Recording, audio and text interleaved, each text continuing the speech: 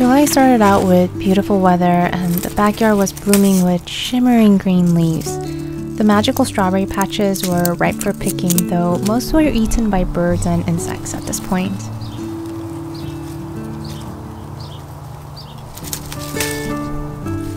Have this patch of mint growing right underneath this rose bush. It comes back every year, even if I try to get rid of it to make room to plant something else. At this point, I've come to accept it and harvest it whenever it pops up. They do smell wonderful though. This year, I wanted to try some squash blossoms. This pumpkin patch grew randomly this year. I don't even know what kind of pumpkin it's supposed to be. But there were so many squash blossoms popping up, I took the opportunity to harvest some of them to eat.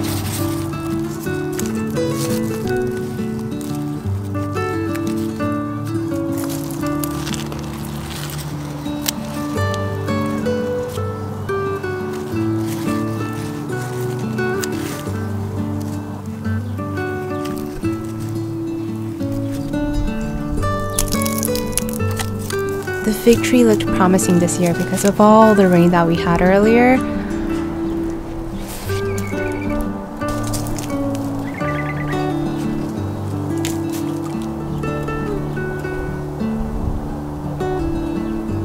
Sadly, the figs were not good this year.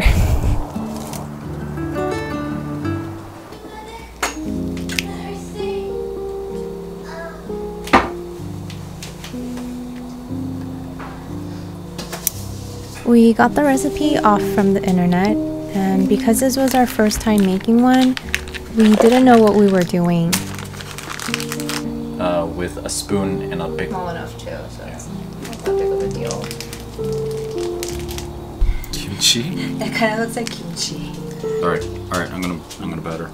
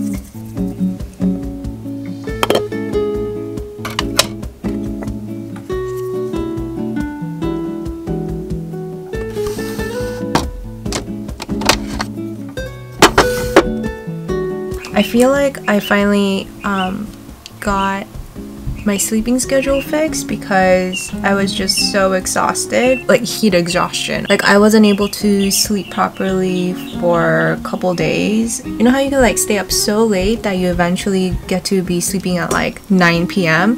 That's that's kind of what I did. I was just so exhausted and this heat wave that's going on prevented me from getting my sleep.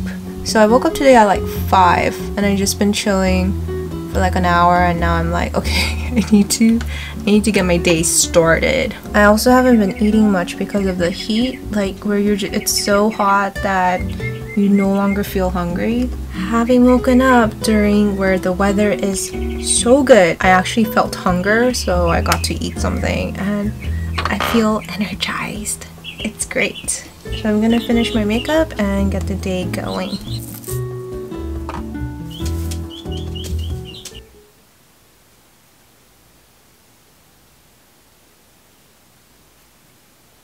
I think I need food.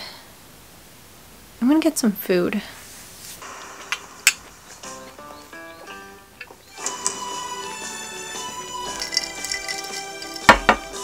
안녕하세요. 511번 천사랑입니다.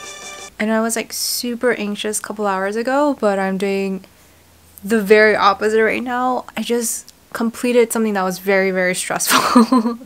it's been on my mind for like months actually. It's, there's more stuff along the way, but this was like a big hurdle. Something business related and it's one of the most stressful things I've probably have yet faced. So I'm so glad it's done.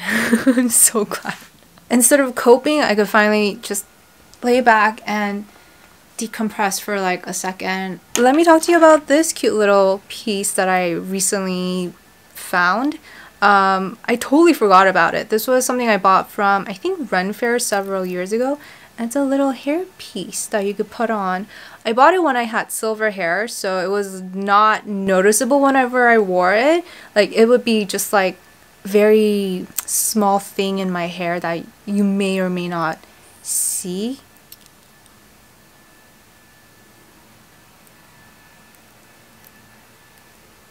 Slide it up. Isn't that so cute? Totally forgot about it just because I haven't worn it in a while. And that was mainly because you couldn't see it in my hair because my hair was silver back in the day. But now that it's black, I, I'm gonna wear it more often. Especially because I didn't get to go to Ren Fair this year and I really wanted to go to Ren Fair. It's a little crescent moon pendant on the bottom. Isn't that the cutest?